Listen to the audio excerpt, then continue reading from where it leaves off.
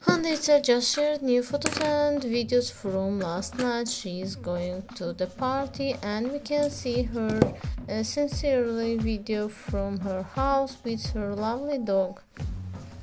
Handita right now is in the event she participated in Alice magazine 25th years old event and this anniversary event makes many famous uh, models and actresses uh, may come to this event.